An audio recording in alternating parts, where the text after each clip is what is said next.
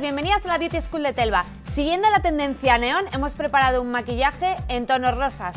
Lo primero que vamos a hacer es hidratar la piel con esta crema de Clinique que mantiene muchísimo la hidratación en la piel. Lo siguiente será aplicar la base de maquillaje de Bobbi Brown.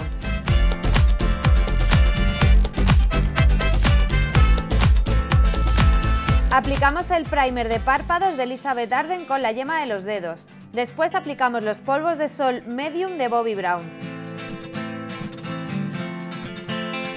Después aplicamos el colorete Fashion Friendly de MAC, que es de la nueva colección.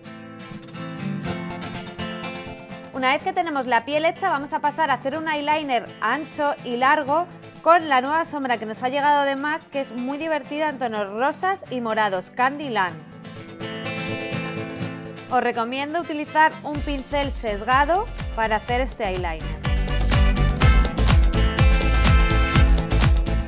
Importante que ricemos la pestaña y utilicemos una máscara de pestañas que nos alargue y nos espese la pestaña. En este caso he utilizado Pure Color de Steel Lauder. En la esquinita del eyeliner voy a aplicar un poco de escarcha rosa y me voy a ayudar con el 8 horas de Elizabeth Arden. Con un pincel de labios voy a volver a perfilar el eyeliner al final. Y por último vamos a finalizar con un labial neón Candy de MAC.